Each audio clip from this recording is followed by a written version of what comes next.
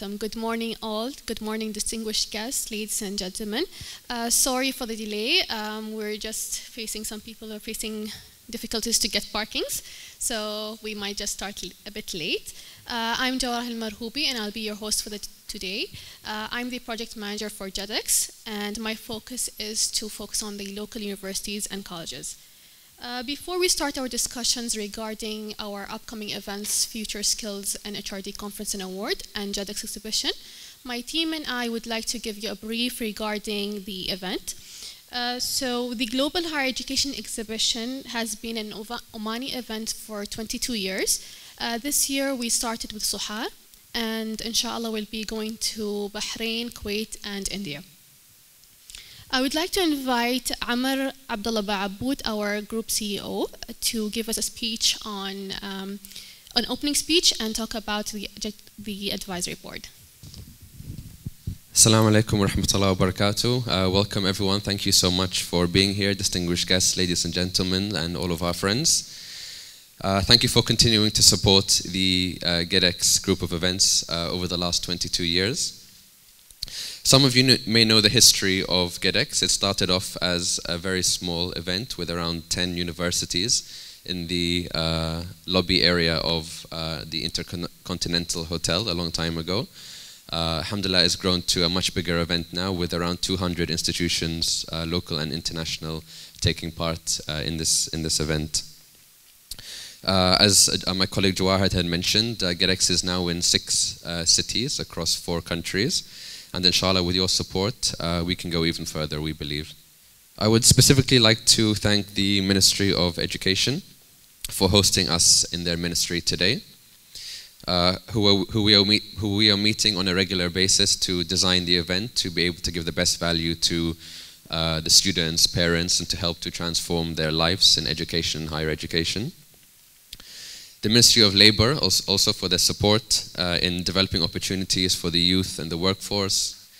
Uh, the Ministry of Higher Education, Research and Innovation for the support in helping us to further develop the higher education sector for universities, colleges, students and the country as a whole.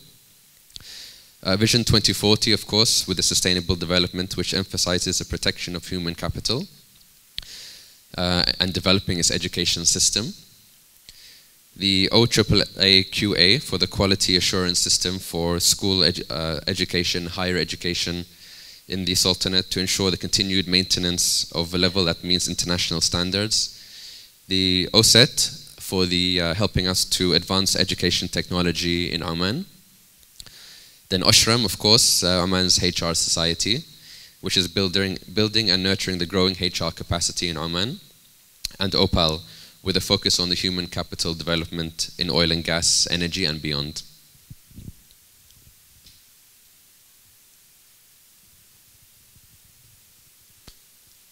I would like to congratulate the six Omani universities who made it to the QS University ranking for Arab World 2023, which was announced recently. Please give them a big round of applause. Big congratulations for Sultan Qaboos University, University of Nizwa, National University, Dhofar University, GUtech, and Sohar University. This is the exact, exactly the type of thing which we want to see. Uh, we want to see our Omani universities and colleges competing on a regional level, inshallah on an international level, and this is something which we all support and we're all very proud to see. We will also be celebrating more success at GHEDEX in May.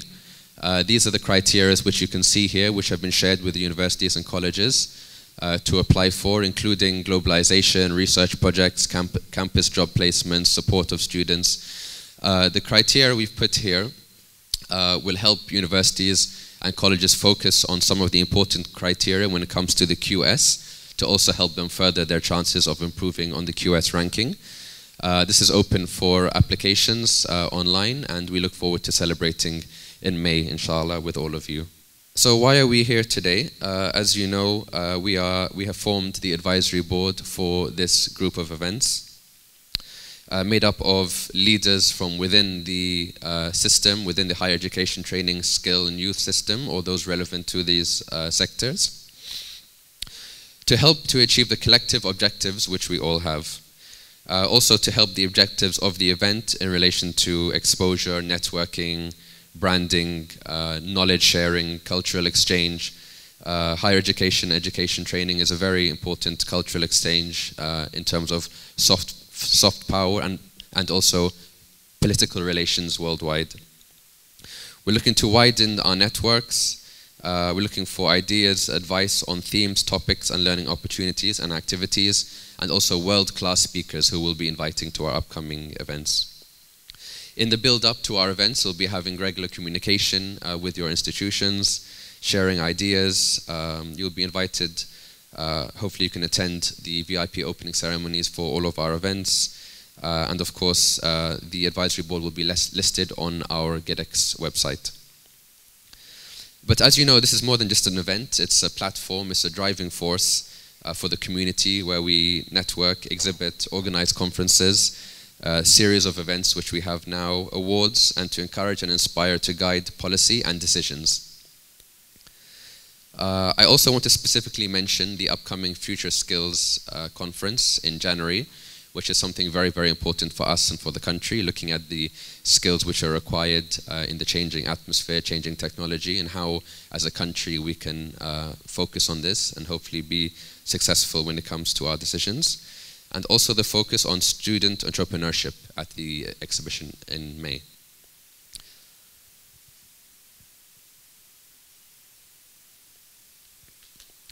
My colleagues will now present on each dedicated activity and zone within the upcoming events, uh, looking at the opportunities uh, within the event to see how we can collaborate together.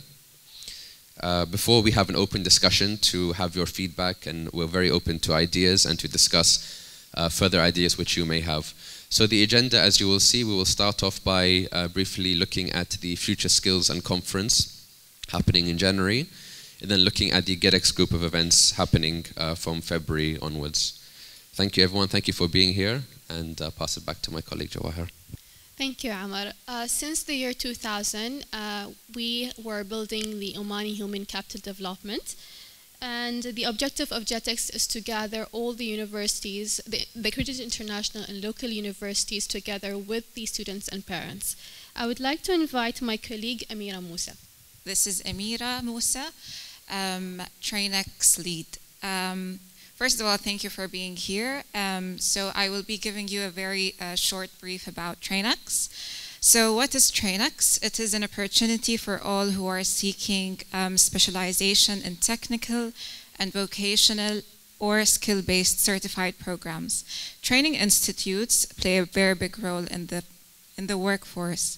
A training program gives everyone the opportunity to strengthen the skills an individual may have. With proper training and development, weakness can turn into strength and employees can excel. Training helps in skill development and the need for our is future skill development. So for any inquiries about TrainX, I will be your focal point and I'll be very happy to hear your feedback and we're always open for your suggestions. Thank you so much and now I would like to invite um, my colleague Shogal Ghailani to the floor. Hello everyone, this is Shogal Ghailani speaking. Uh, and for the first time this year, we're planning to include uh, SchoolX into GHEDEX. The objective of SchoolX would be for private and international schools in Oman to come and promote their educational curriculums and facilities to parents who are to parents to discuss and assess the school suitability for their children. As for the schools, this would provide a great opportunity for them to promote their institutions to potential customers and join the competitive market.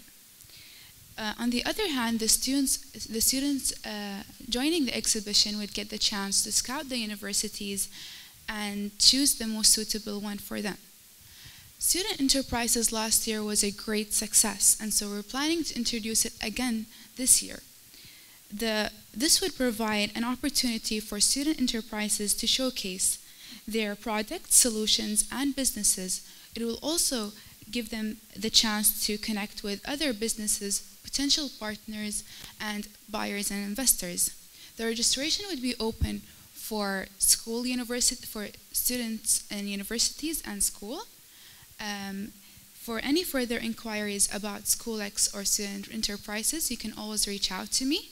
And now I'd like to invite Malak Al-Malki to present.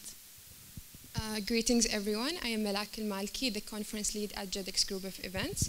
Uh, at GHEDEX, we have two conferences. The first one is Future Skills and uh, Human Resource Development. That will be held on uh, January 2023. As we know, um, as we know, the world is um, witnessing rapid changes and developments affecting every fact in our life. So it has become essential for learners to upgrade and develop their skills to help them adapt the future changes in jobs. Uh, so in alignment with Oman 2040 vision, this conference will bring together government, universities, uh, human resource uh, professionals and students to discuss and have a unified vision to develop an education system to align with the robust labor market. As well, at the conference, we will be deducting a, a, a panel discussion for job seekers to attend for free and discuss uh, to get to and discuss to have the gain uh, and gain the tips and skills needed for their future careers. Moreover, uh, this year at GHEDEX exhibition, we'll be having innovation and entrepreneurship uh, conference at Omani schools and colleges. Uh, this uh, event will be a leading event in Oman. We are planning to attract hundreds of key influencers, professionals, and practitioners. This conference will explore opportunities to build partnership and seek innovative approaches for high quality innovation and entrepreneurship. Uh, I will be the local, uh, the focal point in contact for anyone who are interested to attend any of our conferences. I would like to call now my colleague Raifa to complete. Greetings all, this is Raifa Naleri. Uh, I'm GHEDEX uh, Talks lead. So uh, I'll be your focal point of contact if you would like to reserve a space at GHEDEX Talks. So what is GHEDEX Talks? Basically, GHEDEX Talks is an area which gives uh, the opportunity for professionals, uh, students, and uh, alumni organizations, plus communities who would like to host their meetings, gatherings, uh, or even discussions, events uh, at GHEDEX exhibition. So the space will be free of charge, and it, they can um, they can um, book the space for up to two hours uh, on any uh, of the three event dates. So the purpose of uh, GHEDEX Talks is um, to create an environment where everyone feels that their, uh, their ideas uh, are valued uh, within their team and also to give the chance for the members to build teamwork and also facilitate creative thinking plus um, like uh, develop uh, the um, professional interactions among their participants. So I would like to invite you to use this place as uh, you prefer. Thank you. Of GHEDEX, of course, is a shared of object, objective. Um, we want to see how, how we can we can collaborate. So uh, you each have your own, of course, uh, agendas, what you want to achieve as an institution. We want to see how we can help you uh, in, in this role. So uh, please feel free. Uh, we can share the microphones with the, uh, please raise your hand, we'll give the microphones. Please, any feedback, any input would be really, really useful for us. Thank you. I like the topics that's been given by the ladies. Um, the only thing I see there that's uh, SchoolX. I like the. Uh, but he's mentioned there only promoting for privates and international. Why do we leave our schools behind? Why don't we involve Oman education schools to join this uh, SchoolX?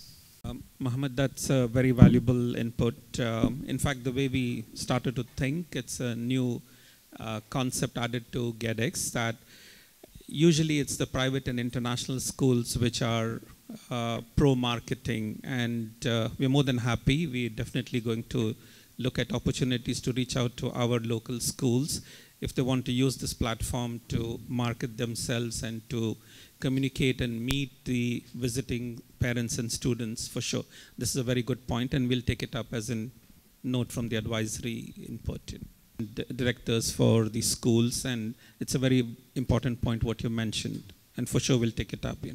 So this is for SchoolX in relation to them having a kind of space to showcase their schools, uh, to expose and you know hopefully attract new new uh, uh, students to, to, their schools. But for government schools, we're uh, uh, trying to involve them within the student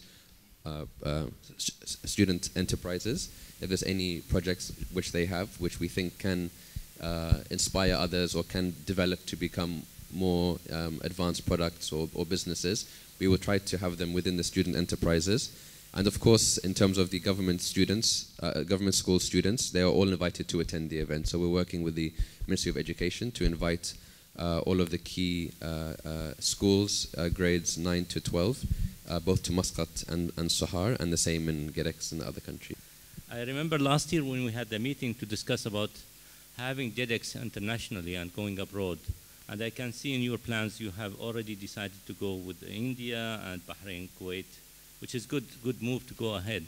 But I hope in the, in the future also to look back into the regional part. I mean, uh, Kuwait and Bahrain maybe within GCC, but also we'd like to see, like in Iran, Iraq, or uh, Egypt. I mean, those are the countries where, as higher education, we are looking forward to welcome students from.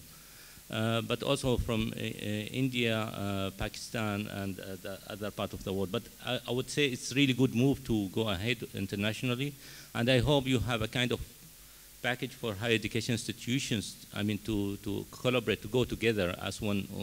I don't know. My question here would be. Is it only for Omani institutions or is it open to all institutions around the world? Yeah, thank you. Event, but uh, when we go international, uh, it is open to uh, uh, any top university who we think deserves to be in that exhibition because of course we're accountable to the local ministries there and to the local students and schools there. Um, uh, in the past we used to have uh, Omani um, uh, take Omani companies abroad outside of Oman.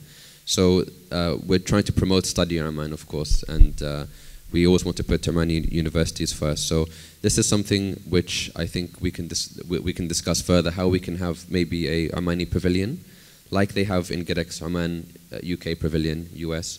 Maybe this is something we can look at if, if, if, it can work. I think that's a very good good idea to to really uh, promote Oman. Um, uh, and looking at other countries as well. Of course, it takes time to build the brand. Uh, like uh, for Bahrain, it will be our first time. Um, uh, in, in Bahrain, we're also looking at the uh, East, East Saudi market because there's around three cities which are around half an hour to one hour drive to the Bahraini um, new exhibition center there. So we think that there'll be a good turnout there.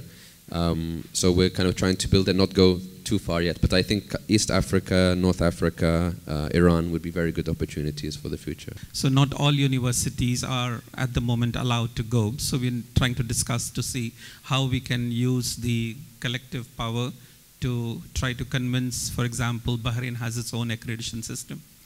And you have responded to is um, we would like to actually exhibit our institution in the countries where we already have the students from. And there are institutions, Oman institutions are recognized in different countries like Syria, Jordan, uh, Iraq. Uh, these are the region where we have a lot of students from. And therefore, and India as well. So therefore, I think the criteria of which country to go in MENA region is the countries where we already have the students and the institutions are recognized. So this will be the, the, the easiest way to, the easiest target uh, students market. And the, um, apart from the because you have you you have mentioned about the accreditation system because accreditation uh, I think is is more difficult way of or a difficult criteria because among GCC countries we still have problems of recognizing each other but within, within the MENA region I think we are it's easier for us to to attract the students because our institutions are recognized in these countries um, East Africa is in a very good market and very attractive and, and, and they are very attractive to Oman and therefore again, uh, it's an easy when we have already established relation with these countries. Um, uh, um, I think we have to investigate the, the, the, countries which are recognizing our institutions, and they should be the, the, the target uh, market for the exhibition. I congratulate you to having the different products and clustered together in one in one exhibition, so you have different uh, uh, exhibitions for different market segment, but within the same, uh, you know, criteria of like education, training, and all that. So I think that's a very smart idea.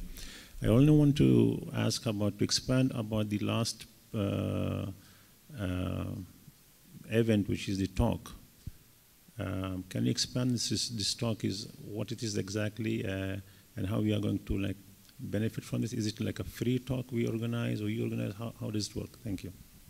Oman universities and colleges are already approved and we already have students from. So that's a very good approach. Uh, for sure we'll, uh, we'll look into how we can communicate with these uh, countries and try to organize a GHEDEX exhibition there. Uh, also, we have requests to organize GHEDEX in different parts within the Sultanate of Oman. So that's another area we are exploring and discussing with the Ministry of Education as to some of the universities may want to go to Khasab, for example, to participate and communicate with the students coming in from Khasab.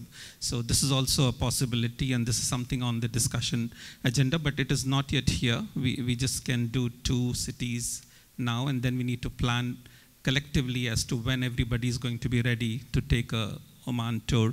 Uh, on the GHEDEX talk, uh, Raifa, do you want to explain it a bit more? As I explained before, that GHEDEX talk is uh, a place where uh, like professionals can uh, have their meetings there and uh, their discussions, which are related to education and future skills, and it can be reserved by um, like colleges, for example, and then you can host their meetings there so we can discuss, uh, you can discuss more uh, regarding GHEDEX itself or anything that is related to education. And uh, it can be reserved like, um, like two, for up to two hours and then uh, for the rest of the event, which is three days. I'm Salim Al-Harthi, Deputy Vice Chancellor of Sultan Qaboos University. Um, well, I have heard about um, training, uh, SchoolX, uh, student enterprises, uh, GHEDEX talks, uh, micro uh, credential, all of these are very, very important. Maybe the way to um, bridge the gap uh, of collaboration between us is just, if you allow me, you give me a few minutes to talk about what we are trying to achieve at Sultan Qaboos University, especially in terms of student skills. We'll be hopefully the first university in the world to give students their own certificate when they graduate and certificate related to skills. We have built a comprehensive framework of SQU uh, student skills.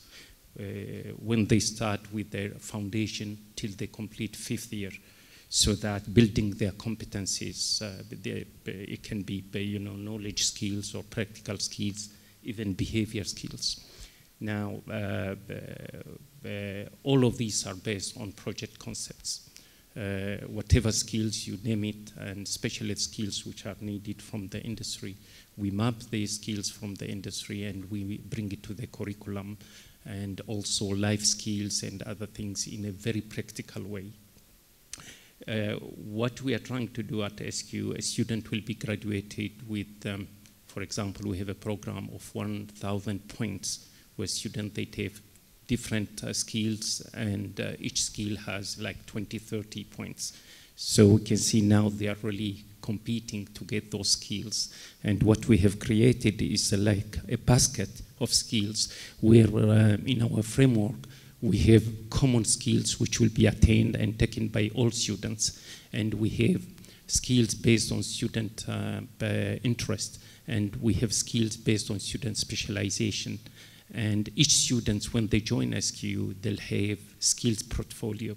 So once they finish the fifth year, they graduate, you'll just be able to click and go directly and get their skills profile. So uh, now there are a lot of details where um, uh, uh, uh, to look into these skills, especially in designing the skills. You know, when you design the skills, uh, then uh, you have to consider all the elements in these skills, including evaluation uh, of those skills and if a student they have attained those skills or not. It's a part of uh, now curriculum bringing those skills uh, to the university uh, agenda. So we have started with a lot of projects at the moment, something like six million uh, in that direction. And um, and we don't forget, we didn't forget our partners, and you might be one of them, especially in uh, taking um, the, that uh, direction.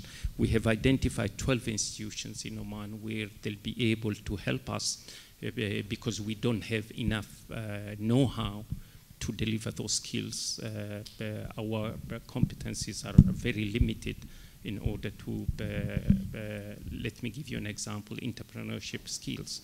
So that we'll have with uh, other institutions to help us to do so. Maybe you can be one of them in that direction, why not? My suggestion will be that um, first you start with the letter of understanding with those universities. Then you start with the focus agenda on a certain, just trying to close that gap of uh, any uh, institutions. Um, one of the things we are getting a help is uh, support from different companies. Just before coming to this meeting, I was in PDO and uh, we were talking about supporting uh, our agenda, skilled agenda. And um, you can't believe it. Um, the money is available, but the problem is designing and delivering of those skills. So that's the thing really we can uh, work together. Uh, I won't be able to go into the uh, what are the most important skills, especially when Omar uh, mentioned about future skills we do have a complete um, uh, idea of what is needed in coming few years. And we are talking about uh, something like 22 years, and we have done a lot of studies to identify what will be needed locally and internationally. So uh, one of the things which was not clear to me, uh, it was mentioned here, accreditation, and that's my question. Can you elaborate on that? then uh, I'll, I'll, I'll, let you know exactly what we are trying to do at SQ in that direction. Thank you. Uh, this year, um, first time 2021 actually we did this thing. We had a lot of interest from uh, university representatives, company representatives, companies like PDO and the leading organizations which are working. And also I think we have uh, Ibtihal here from us organizations did come forward to contribute and try to collaborate about future skills. And now we'll be doing the second event on future skills. And what you're doing at SQ is very interesting and probably very important for all of us, like uh, attending the conference and the media to know how you are going about the skills agenda. And uh, for sure, many organizations, institutions have a similar kind of a program. You probably are like much more at an advanced stage and spent a lot of resources and money to develop it. Uh, so we'd like to invite you to be at the conference to share this if possible. We'll reach out to you for that uh, for sure. Uh, coming to the accreditation point, each, each uh, Ministry of Higher Education has their accreditation of uh, different universities in different countries it's not very clear how exactly they're working this out because they have their agendas set separately. For some countries which have a lot of wealth and funds available to send students abroad, they may choose a certain country because they feel that that country may um, give like a, a better prospects to the students and some countries which do not have so much money may distribute their students to go to different countries. So we've been working with different uh, ministries of higher education. Oman has its own system. So on the Omani Ministry of Higher Education website, you can go and see which are the international universities accredited for different countries, which simply means that the local population is uh, advised to go and study from those institutions because they have been verified for certain criteria. Probably like authenticity of uh, certification or the environment or the safety or like, you know, the possibilities. There's different points which they look into.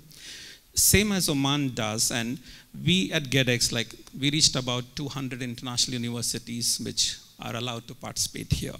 But we get interest from maybe 300, 350 universities from around the world. And sometimes we have to refuse saying, sorry, you were accredited before, but now you're not. For many reasons. It could be political, it could be social, it could be education, it could be so many things. Like. So same way with Kuwait, they have a different system. So they would say, in USA, these are the ones which are accredited, which means others, the students, local students are not encouraged to go to. Um, Bahrain also has a similar system. India does not have that system because most of the money invested in higher education comes from the parents' savings, and some through exchange of scholarships. So we can uh, take you through which are the countries, you know, SQ is approved, you know, of course, in Kuwait and in Bahrain. and of course India. But some of the countries, they have a different system. So I'm not sure if I've answered that bit, and we can, we can go through and give you the list of approved universities country-wise. Maybe we as private institutions, we are facing the difficulty in like Saudi Arabia, uh, Kuwait. Uh, we, ha we haven't had a problem with Bahrain or UAE, but in Saudi Arabia and Kuwait, they have certain rules. You have to be accredited. And to be honest, I mean, we've spent more than 11 years just to go through those processes with Saudi Arabia and Kuwait. Until now, it's not finished yet. So the process, they, they have certain rules which uh, uh, the institution has to be approved locally before it's going abroad. But then they, you have to fulfill all the requirements from those uh, countries to be accredited there. It's not just about uh, sending, um, I mean, uh, to send their students, but also to allow the national students to go abroad as well.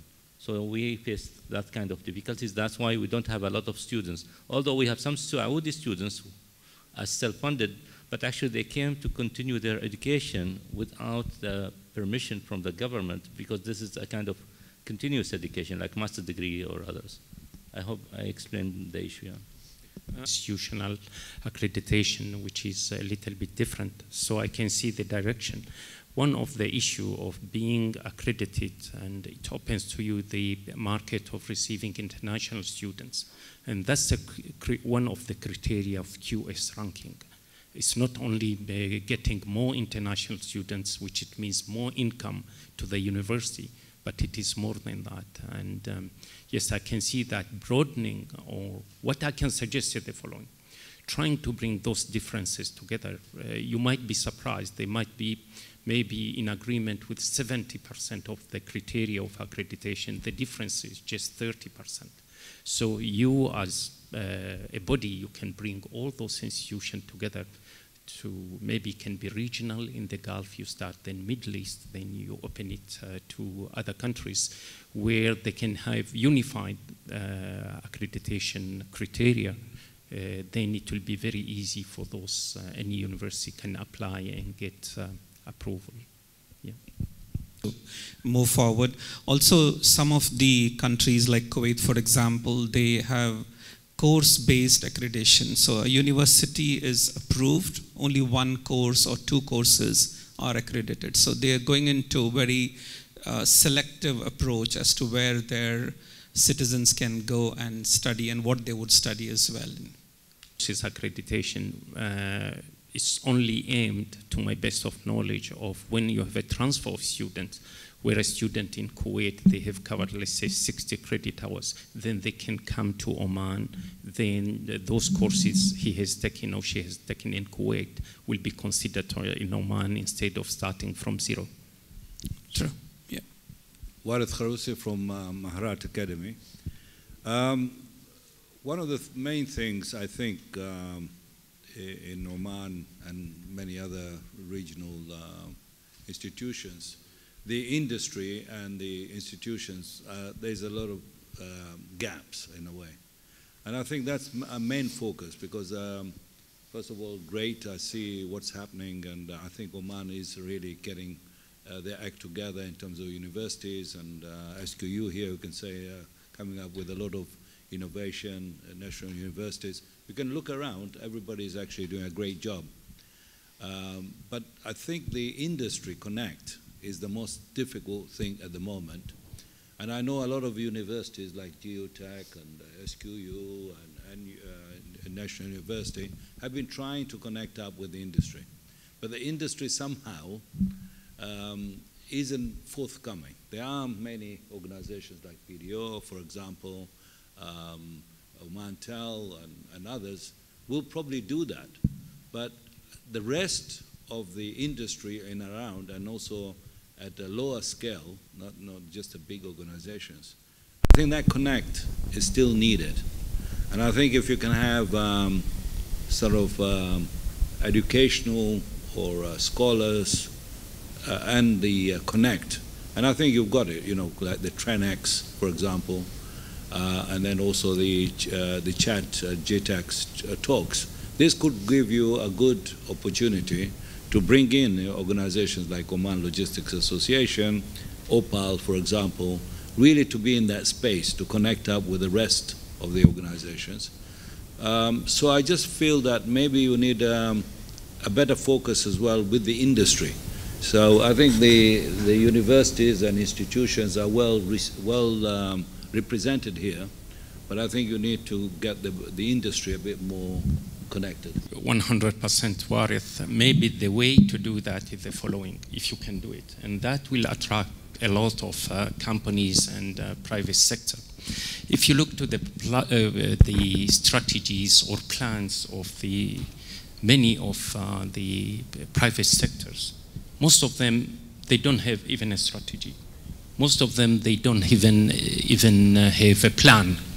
So if you can help them, for example, to say, okay, you are invited to come, we'll be assessing you, uh, your plans or strategies, and inject that element of skills and R&D, that will be very good. I can tell you, you'll be surprised. Even well-known companies in Oman, they don't have R&D in their agenda or enhancement of skills or competencies. So what you can do, you can come and make it as a uh, free of charge, show us your annual plan or five years plan. Why don't you consider this? Because that will uh, reduce your cost. And uh, you need to talk the language where they want to hear. Uh, the language of um, uh, uh, improving the, the product, the language of reducing the cost, the language of being very tough competitors, the, learning, uh, the, the, language of uh, getting the big share in the market. In that way, you'll be able to look at their plan and strategy and inject these type of things.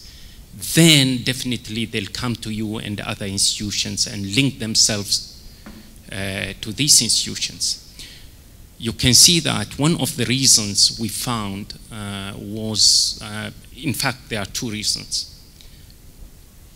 The local companies are not yet ready to take risk. They are not really, their risk appetite is very low. So you need really to help them in order to attain certain level of risk appetite. This is number one. Number two is that really you need, uh, what we found was that they are not willing uh, to invest in anything related to knowledge as far that there is no competition. So you need to come up and create competition between those institutions and telling them, if you join us, these will be the benefits you'll get. And you can see the improvement. So you link what, whatever you are introducing to the growth of these companies. Definitely, then you'll, you'll not need even to do marketing once any institution they see this is a very good investment and there are benefits associated to them, they'll come to you. And my perception, uh, having um, having a skills training uh, academy, I find that the universities want that industry connect.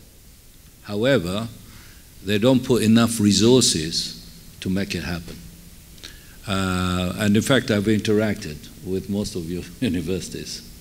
And what I find, it is kind of like at a peripheral thing, which is the internship. They say, right, okay, uh, we want interns in, in the industry, but they think about just a placement and then let the student find its way and the as you said, uh, most of the organization doesn't understand what internship is all about and what benefits they can get and everybody's lost. Um, if we can actually uh, get enough resource, similar focus to the educational training, uh, for the industrial training, because you need a direct connection between the industry and the institution. Now, to make it an, a very effective program, you need um, an interactive, it's not just a placement.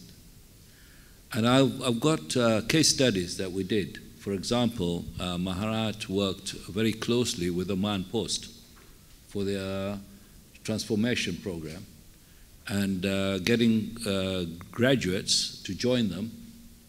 But then gave them special projects, plus the academy giving them the skills. And then over three months and more, they were actually producing for Oman Post, for example, uh, because they did own improvement projects. But the, the improvement projects were actually led by the industry, and the academy facilitated. And if when you have that partnership or collaboration between an institution or a university with the industry, then you get those gains. And I'm not saying they're not happening in the university, but I think at a lower scale, it needs a lot more because that's where you're going to get. For example, we are saying uh, we need to push uh, SMEs here.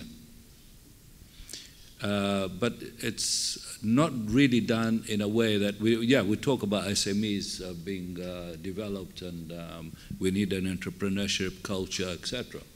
But what is the universities doing and actually picking up maybe like 20, 30 SMEs, put them in their programs and to do a, what, a BSc? They're looking more like I've got a, um, a student, a candidate, and then he has to do his four years. What he needs in that four years. They don't look beyond the four years uh, accreditation and then getting their certificate. So I think these are my personal feeling. Uh, I've been around um, another last uh, 20 years or so with the industry. There are pockets of excellence, uh, no doubt, but I think what we need to do is cascade that successes to other industry uh, at a lower scale because then you can place hundreds of your internships. Now, for example, in Europe and other places in the world, internships are actually taken very, very seriously, like if you look at Germany, etc. Uh, the industry pushes it rather than the universities push it. So the, there's a pull from the industry rather from, the, and here is the vice versa. It's the universities wanting it, but the industry doesn't want it. So I think we need to turn it around and I think, uh, Nabila, you talked about workshops. literally coming up with a strategy going forward.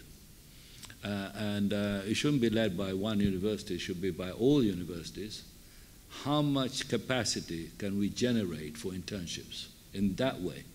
And I know, like uh, the applied sciences universities actually tried it, and um, having like a three months um, internship, and you pay the student 150 reals, It does something for the, for the organization and they benefit jointly. But it needs to be done well structured. Should be well structured so that there's benefits all the way through. And there are many uh, organizations that are not that professional to take interns. So that has to be taken care of. And once you get uh, uh, industries taking this on, they will see it is a benefit all the time. So then they do a pull rather than a push.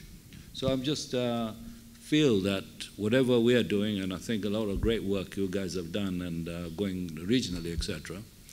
Um, another opportunity is from the SQU, which you talk about this 1,000 points.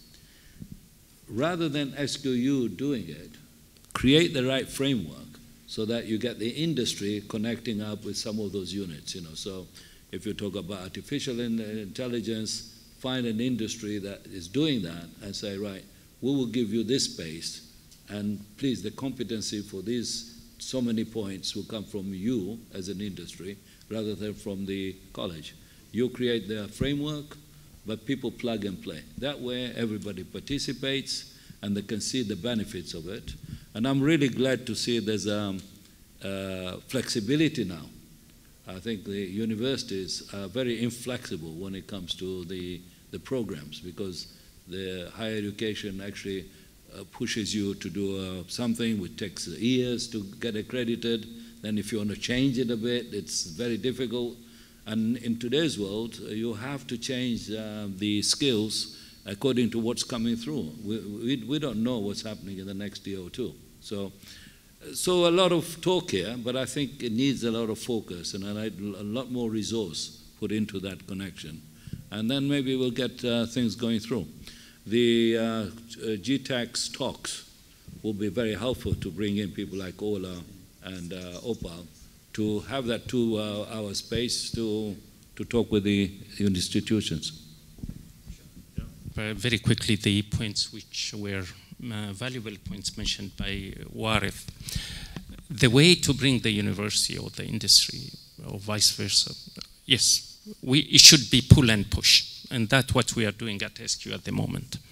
Uh, at the same time, if the issue is uh, supporting financially uh, to do to enhance these type of skills, we can come up with a clustering uh, way of bringing people on board so that you know, especially private institution, they have a lot of um, you know challenges, and uh, you know they are not receiving you know, ready uh, budget from uh, Minister of Finance. They need uh, to bring the students and invest, so it costs them a lot. Uh, by bringing everyone through the framework, uh, suggested by Warith will be a very good thing to do. Now, this is one thing. The other thing, we need to distinguish between internship and training and uh, skills, and that what we are doing at SQ at the moment for example, the 1,000 points, we have a lot of skills and other institutions, they come and help us to deliver them. So it's not anymore SQU. As I said, we don't have enough know-how. We are not really competent enough in every skill. So even now we bring people from the industry without, they have experience, no PhDs, no master degrees, just to help us in um, uh, attaining those skills to our students. It's not anymore in our budget, we don't have budget allocated for enhancement of uh, skills. You can't believe it. This year is the first year where SQ is putting really uh, a very good budget and helped by the industry for skills uh, enhancement. There is another, a completely different dimension, which maybe you can think of. You know, we talk about training of students and uh, bringing these skills, but we forgot about who are going to train those students. Enhancement of academicians on how to attain know-how to train students with those skills. What we have found, once you prepare the, you know, a, a human being uh, then uh, you won't be able to have a problem when you want to teach your students in those skills or even be, uh, bringing people from the industry. So that is very, very important.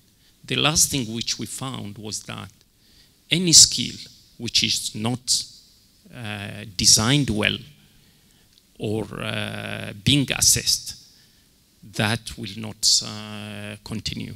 So if you uh, want to sustain the culture of bringing skills to your students and your graduates in different ways, you need really to have a complete performance measurement of those skills. And you need really to have uh, skills designers, okay? So that is very, very important.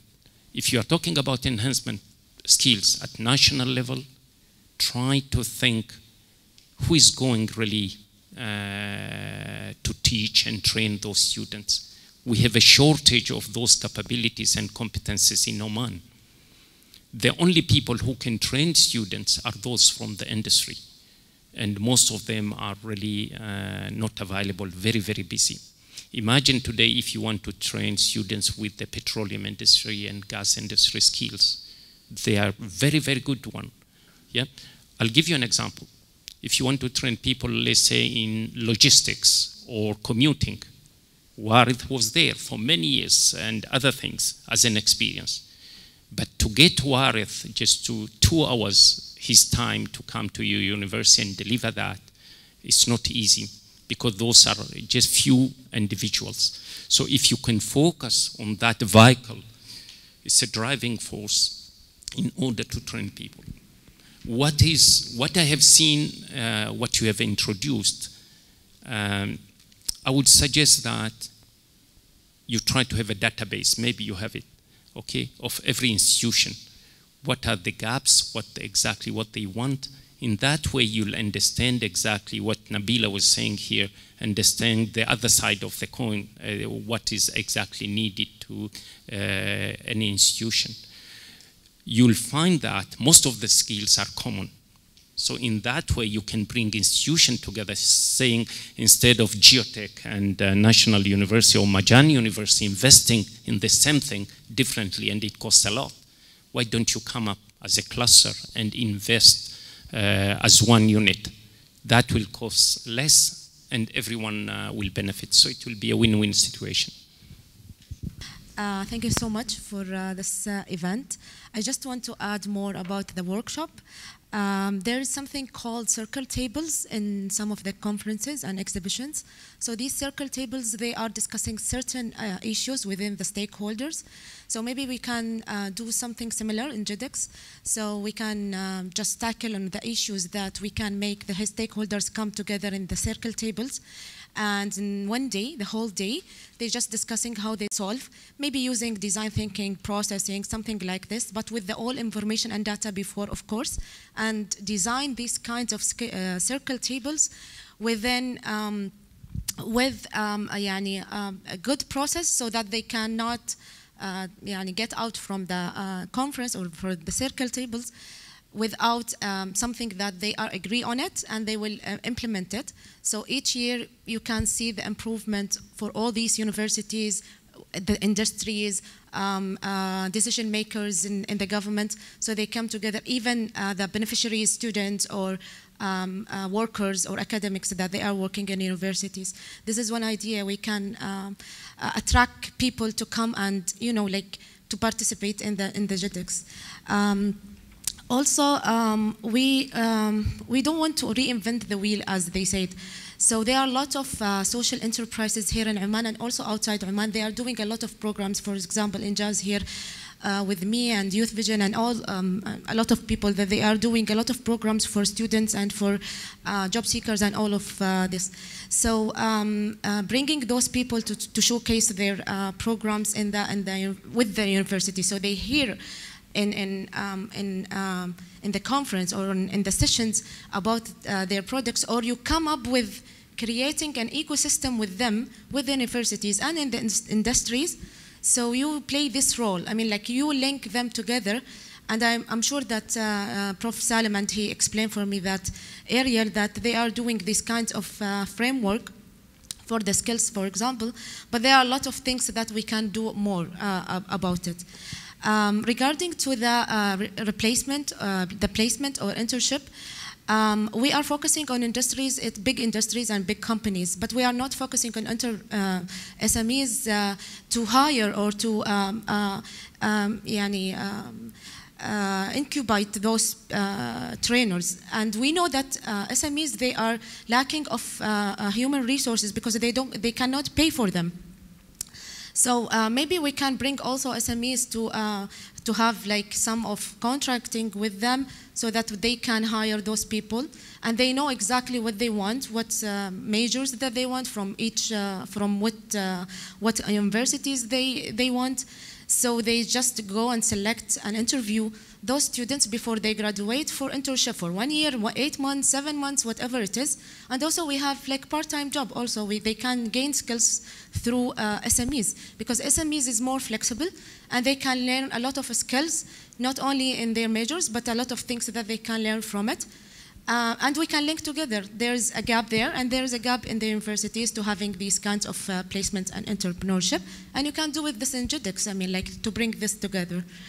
Um, also NGOs, they, they our uh, uh, professional organization like Oshram, OPAL, and a lot of professional organizations, also they can add more about you know, how to, uh, um, uh, to, to, to be part of this ecosystem. So they can tell you exactly, they have a data, they have professionals from each industry, so they can um, come and you know, like be part of this GHEDEX, strong part of the GHEDEX, and they can um, um, you know, like closing the gap or uh, um, doing programs or uh, for, for those kind, uh, for those uh, um, uh, universities or for the, the, for the whole stakeholders rela related.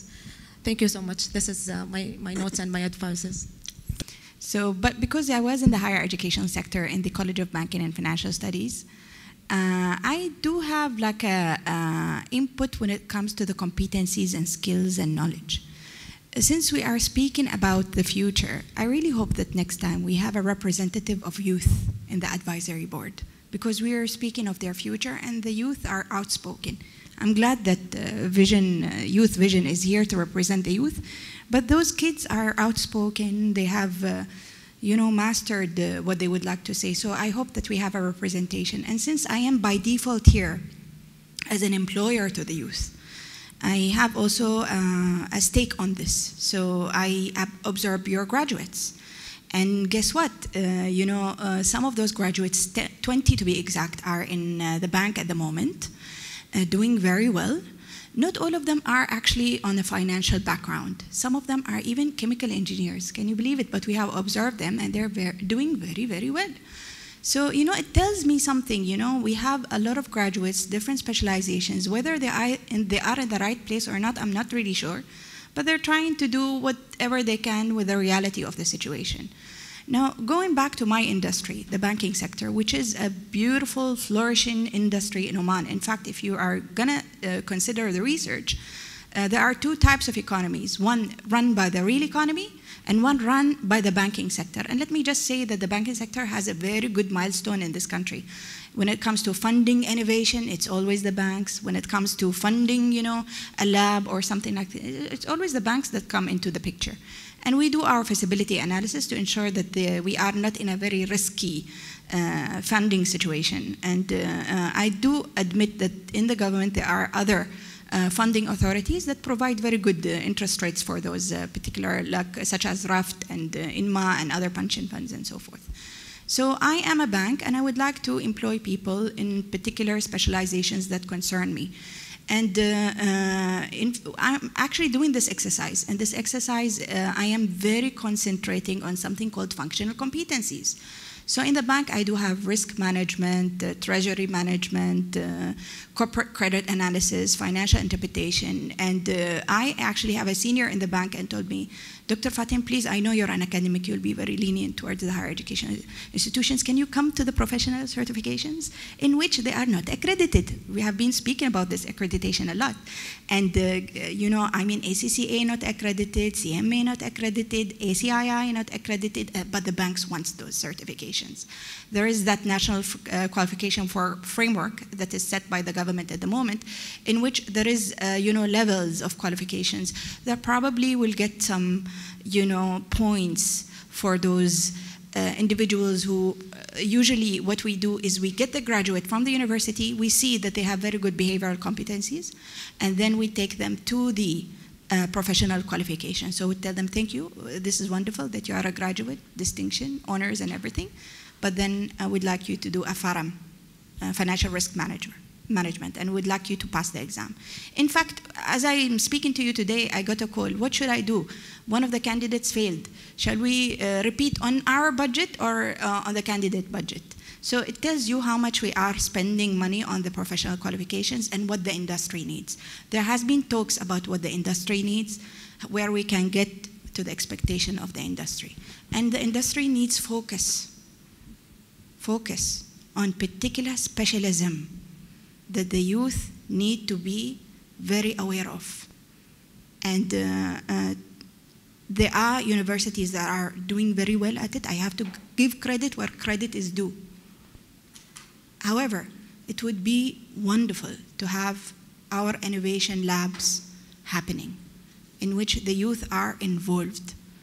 In fact, before I'm speaking uh, today uh, to you, I spoke to Dr. Nabila and I told her I really hope that the Innovation Center was not merged with the Ministry of Higher Education, that it was left, you know, uh, idle.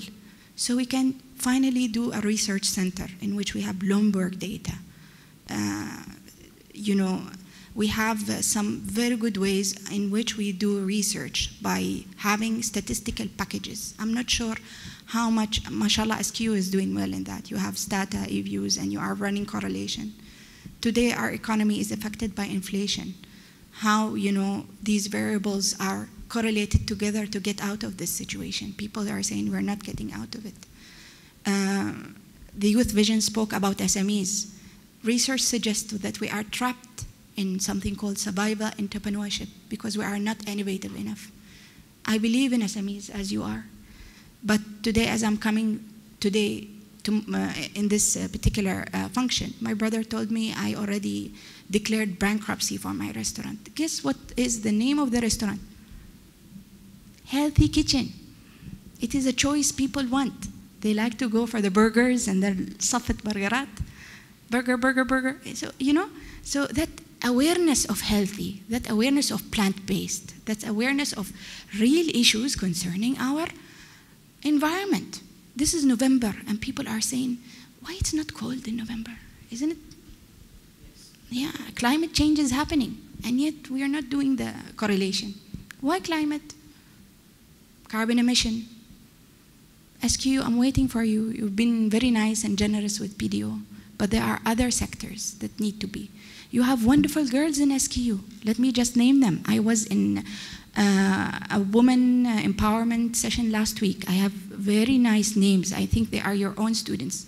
رزان الكلباني الطلاق يمتص الأشعة السينية لاصقات جروح مرضى السكري wonderful half of our population is actually diabetic Uh, we have تسنيم بنت محمد الداودية الحائزة على الميدالية الذهبية جائزة الشرق الأوسط للمخترعات والمبتكرات. Where are those girls going?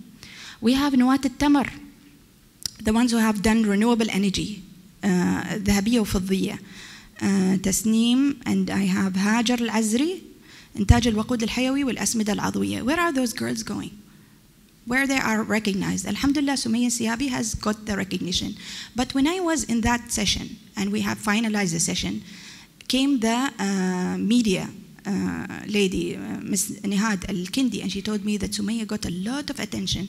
Somebody really supported her in terms of marketing. And I loved it. Sumaya deserves it. I'm really loving that, that we are giving credit where credit is due and giving a platform for the youth and providing funding for the right causes and getting out of the survival entrepreneurship because it's affecting our economy. And uh, you know, the banks can give funding as much as they can, but when they risk, when there are risky funding projects, they will put a halt on it. And I'm afraid that uh, to get out of this, we need to be together, collective, on the thinking process. Uh, so it's time for us to think together, collective. I'm afraid that this is the time where I'm viewing people on a measure selfishness and selfless. Selfless is when you are making a real impact to economy and community. Selfishness when it's me, myself, and I. And I've been seeing, you know, some people brilliant, smart, but it's me, myself, and I. And no impact, nothing for the youth, not bringing them. Aisha Al-Kharousi was with me in the uh, last week's session. And she, she told me a wonderful thing. She told the one girl, you go, you do, you, said, can I take you with me? She said, yes. And she took the girl with her. Now the girl is starting a project and she's invited in one of the radio shows to speak about her experience. We have to adopt people, adopt them, take them with us, bring them, give them a platform. The youth is hungry for this. So one quality that I speak of a leader is listening. And it's very hard for me to listen, by the way. But I'm really, really, really working on that quality. And I hope that all of us does, because those youth have something to say, and they deserve that platform. So I hope that we provide them that opportunity. And sorry, yani, I'm very critical, but this is how academics are. Thank you. Thank you, Dr. Fadil. I can tell you that we are going into, I'm talking about SQ, a radical change.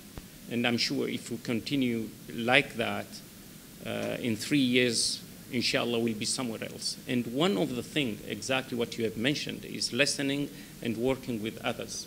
The first thing we, we need to uh, make sure that whatever we cannot do, there, will be somewhere or a company where they, can, they can come and help us okay, to do that.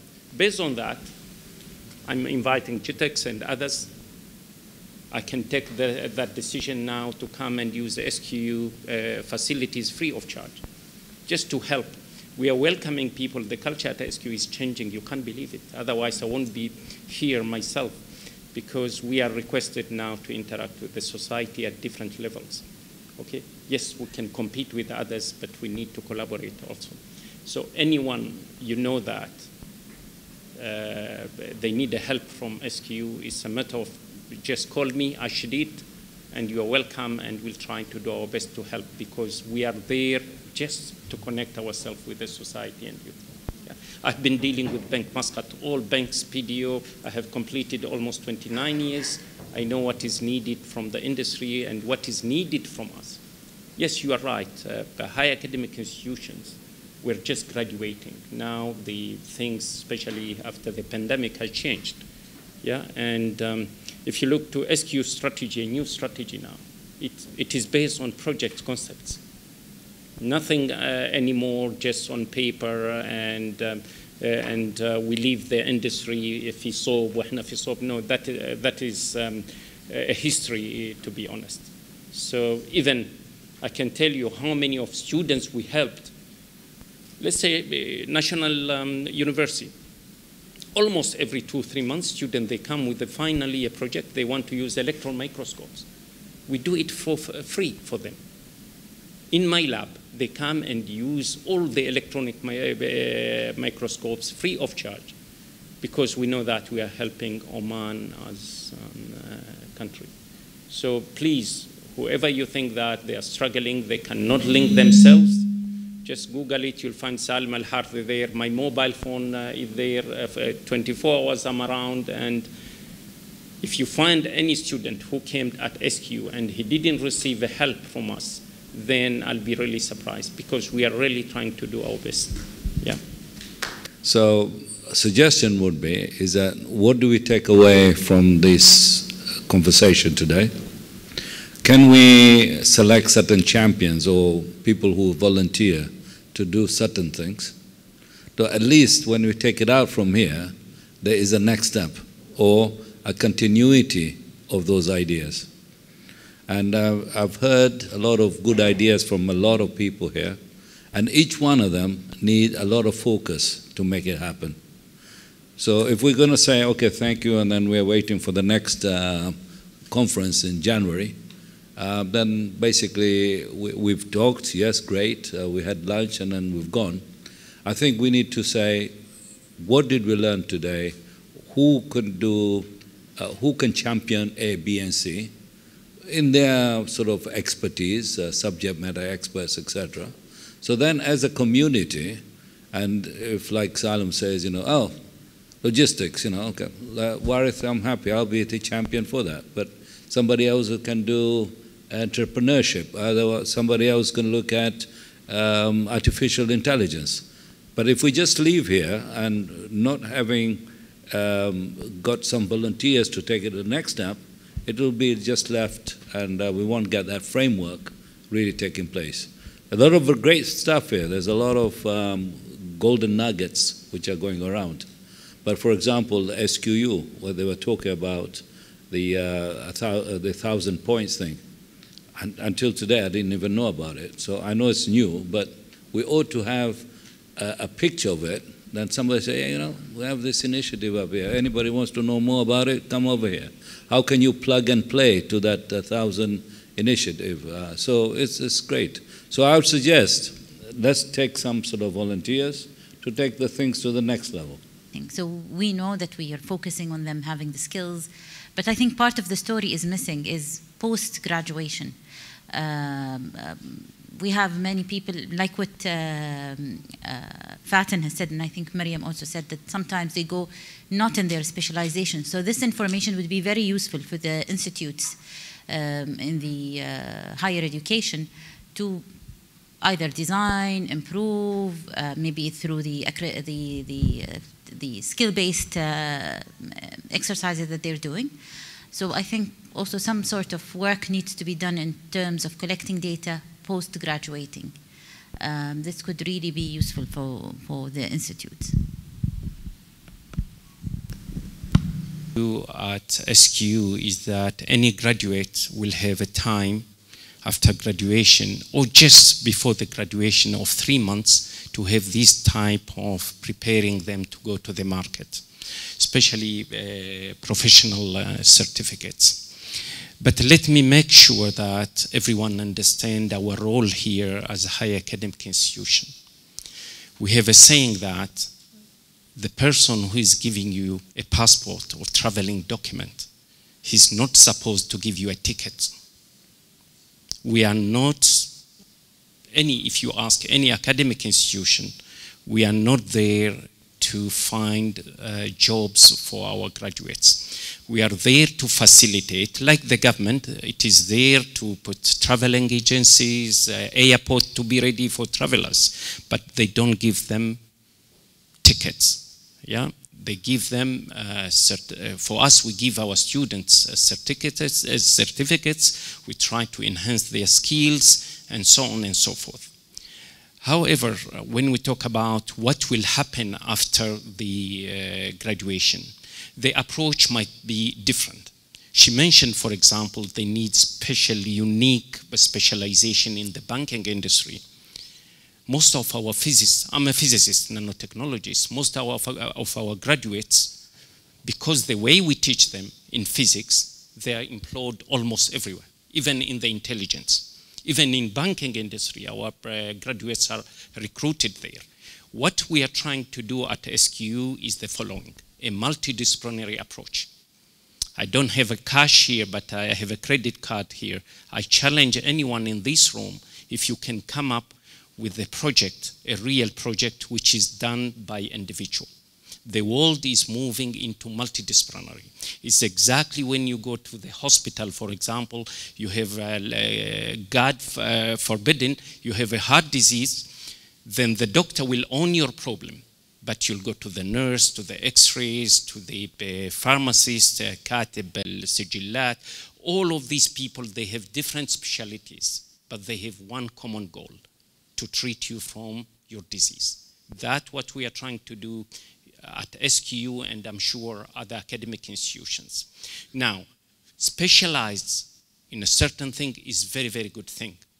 But the world, the way is coming now, we need to inject a multidisciplinary component to every one of your students, uh, our students or our graduates. I'll give you just a simple examples. In two days, what happened? I met uh, a new Minister of Health What happens that we were discussing and said, you see, we have very good doctors and they are graduated in a very good universities and so on and so forth. Also, he's undersecretary but we need to enhance the capabilities of doctors because the internship one year اللي هو برنامج الامتياز is taking place at SQ for the whole country. And we need to inject, a doctor needs to know concepts of management, concepts of uh, business, especially when they buy drugs or uh, things uh, or uh, medical instruments. So what I'm saying here, specialized specialization is very important, and that is taking place in all universities.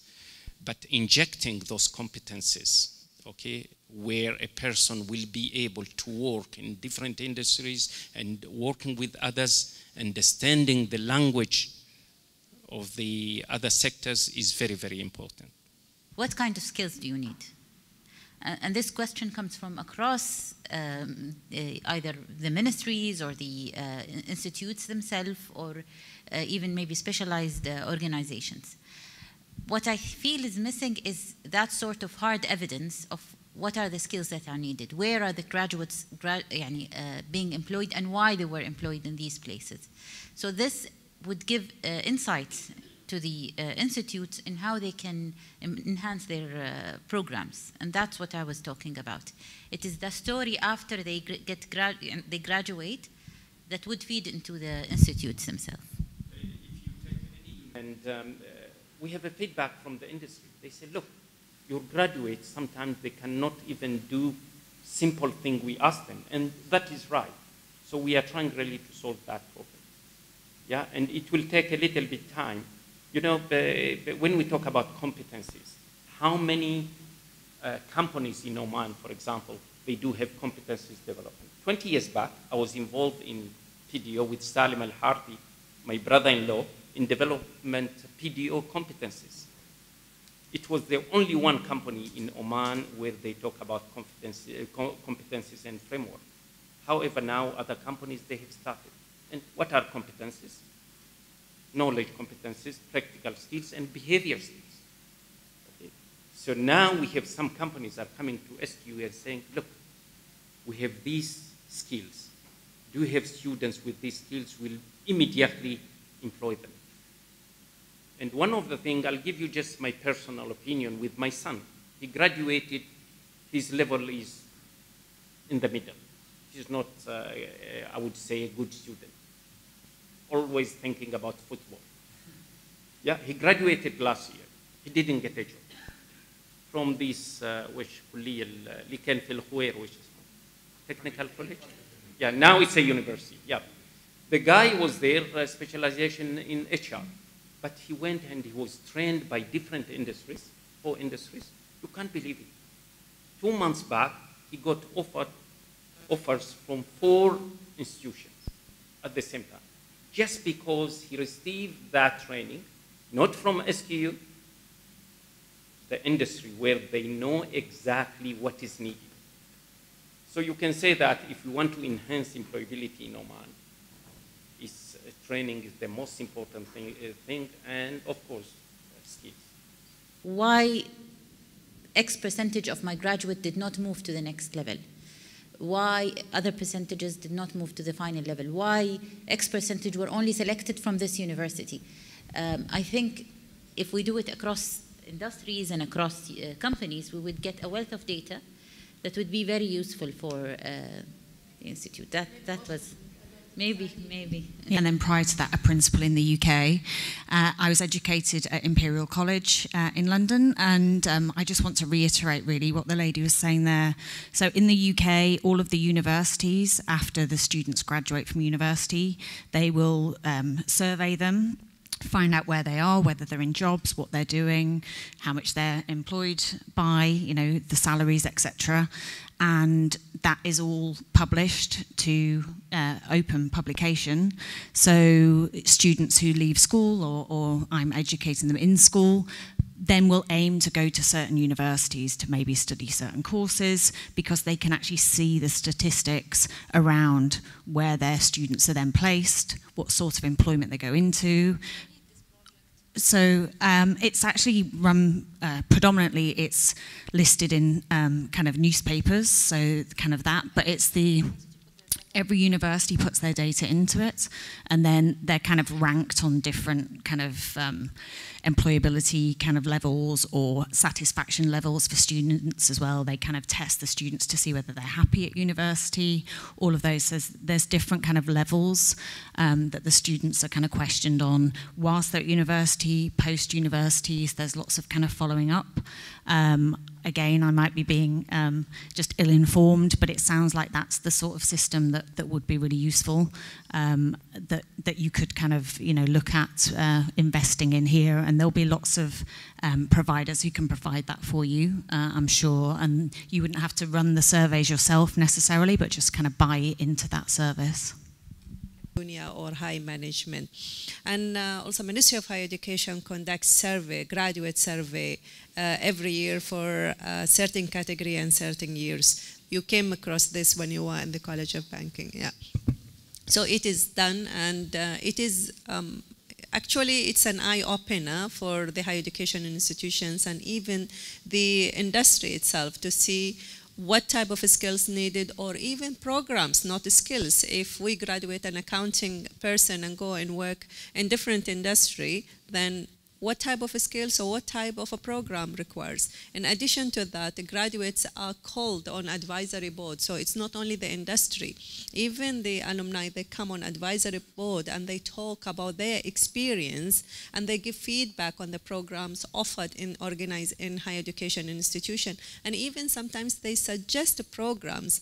And sometimes these programs are not coming only from academics, not the industry, from graduate, because the graduate being a student and now they're working in the industry and they know, I won't say better, but they have an informed decision or judgment on what they have or what they want to be or something that they didn't have it before but they see that it is like skills maybe problem solving critical uh, skills uh, critical thinking or other or even comprehension sometimes even the way that they comprehend things and, and analyze. This is maybe uh, like lacking in certain I wouldn't, I wouldn't say it's lacking, but maybe they don't know how to use it or how to put it in use in, in, the, in the work, transferring skills. That's I would say, transferring the skills that they have. So it is, it is a practice. What we're doing today is really good, but I, I think we, we, we need, what is the intake of this? How much we learn from each other. I know we are doing this, but then we need to put it in practice in order to benefit uh, from such discussion. And roundtable really will help. I'm, I'm sure it will help. Thank you very much again for inviting me for this valuable discussion. Thank you.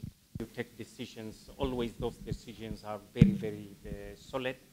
Uh, and also, uh, now the country started talking about, from there you'll be able to know the position in Oman, and you take it from uh, top down, and you are trying to identify skills needed uh, by looking to the uh, indices.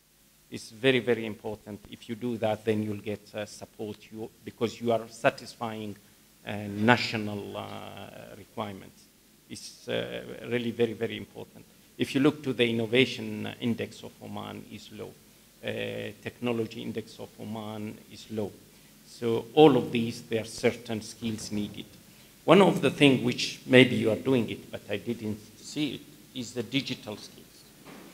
Uh, at SQ, we brought Microsoft, Wiley, and Coursera. They have plenty of uh, platforms related to skills, student skills. And these are very, very important when you talk about future skills. Uh, you know that people are talking about artificial intelligence, uh, uh, blockchain technology, nanotechnology, Internet of Things, big data, smart cities. All of these are really very, very important. They do have platforms where you can collaborate with them. And the good thing, most of those platforms are paid by the government of Oman, but not exploited fully by academic, high academic institutions. And a lot of these uh, programs are even free, but not marketed enough so that high academic institutions will benefit from them. So you can link yourself as an interface of promoting these type of things when it comes into digital uh, skills. Now, one of the things, uh, when we talk, let's say, when we talk about uh, nanotechnology, it's very expensive it's my field, and um, uh, sometimes it's not easy to have very advanced laboratory and compete with the other universities. So what you can do is the following. Bringing universities, they share together the cost and having a single lab or purchasing uh, uh, a microscope. One electronic microscope, we have scanning electron microscope, uh, transmission electron microscope, microscope, tunneling uh, electron microscope, a lot of them. But they are very, something like uh, a single microscope, an advanced one, one million Omani riyals. Maybe only SQ have something like uh, 10 of them. Other universities, they cannot afford buying that. So, but they can purchase these type of uh, things together. And everyone will be utilizing, because the equipment are not utilized 24 hours in my university. So they can share the cost where this is very, very important. Then you can enhance uh, skills related to technologies. There are things really where universities need to work together to reduce the cost, but everyone will benefit. The missing element is there is a body to bring these universities together. So that's the way uh, different institutions can work and saying, look, SQ can contribute in this, National University can do this on Majan, share together, and work together. Everyone will benefit. So in that way, we'll be able really to say, yeah, we are thinking uh, widely uh, at uh, national level. And uh, we know that uh, we can see the uh, industry is moving very fast. So if you compare education systems and the industry, you'll see total different directions. Industry is going very fast, education is going very slow. Uh, I should admit that a few of universities here in Oman, they're doing very well. Um, they are ready to adapt. Agility is there. Uh, we have a problem, I think, uh, majority of the university here, they uh, follow certain standards or curriculums from international accreditations, and there's no adaptability at all on the future skills example. Uh, Oman Vision 2040, we talk about it, it's been published for quite some times now but you don't see effort of university, say, taking the documents, put it in practice, ready to, you know, occupy students and so on. I think that's a big, big problems because majority of university here in Oman, they are very much depending on the certain structure of curriculums, delivering programs, structured by somebody sitting on, on uh, Thailand or in the islands, you know, and, and deliver here, which probably doesn't fit for purpose. That's one. The other thing is that I see, uh, I have learned this from the Southern University in uh, Europe, that they have research centers in the university. And within the research centers, they invite companies, you know, big companies, to have a space in. So all the research center is done through uh, within the university. So PDO or Oxy or whatever it is, company can rent the space and be there doing the research center together. Uh, I think that's a very, very uh, interesting uh, story to tell. Uh, the other part also of the discussion, I think, is that uh, university here, majority are doing, uh, you know, training. They train, you know, they're giving educations. But the other part also is missing. you know, R&D is missing.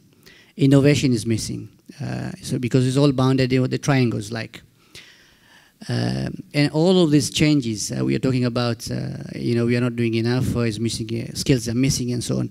We also need decision makers. Uh, who are the decision makers really? So decision makers to be on this table probably sometimes is very important. A government, I don't know, is it a higher education, is it the minister, who does, you know? Somebody need to have a say on the changes with the national priorities and strategies. And each higher education institution, they have their own strategic plan and they have to fit and be aligned. So there is a list of requirement from Ministry of Education and Oman AAA QA because they have the listing requirements uh, and licensing and approval of our programs. So I can assure the audience and the country from me being as a reviewer and being a person who develop also programs i know that this program they go through a thorough process of approval. So it's not like someone outside bring these uh, programs and we take them on board. I think you would agree with me. I just want to actually yes and because you said actually very you know critical actually statement that majority of the universities uh, bringing the curriculum from elsewhere and implementing here and they're not flexible and not relevant to our context. This is an absolutely, uh, utterly uh, not an accurate statement. First of all, universities are completely independent in their curriculum and in the designing of the programs. They have nothing to do with the uh, external organizations, though we have relations and academic collaborations that is really up to the, the choice of the universities to have these affiliations for different uh, exercise in different academic uh, purposes. But uh, I can assure you, as Ms. Nabila is saying in here, if the curriculum are not flexible and not adaptable, and if they're not relevant to the context of Oman, for example, they will die. They will not survive. So therefore, the innovation is happening in a very big time, actually. And that's, again, uh, as uh, we're all saying that because we are not connected together, we don't know what's actually happening in the universities um, innovations, entrepreneurship, new projects. This, all these new entrepreneurs that's coming up, they actually are a result of the university's activities. Extracurricular activities in the universities are producing a lot of entrepreneurs and a lot of innovations in the country. But unfortunately, they are not, uh, you know, as we said earlier, maybe not recognized and also not connected with the, with the, with the society. And also when we are very limited in our work cycles, we claim that this is not happening. Actually, a lot of things happening in the higher educations are nuclear of the of the knowledge of innovations, new ideas, and these youngsters are amazingly doing a lot of work in the institutions, and uh, many of them actually successful, but uh, maybe they're not highlighted in the society in some way or the other.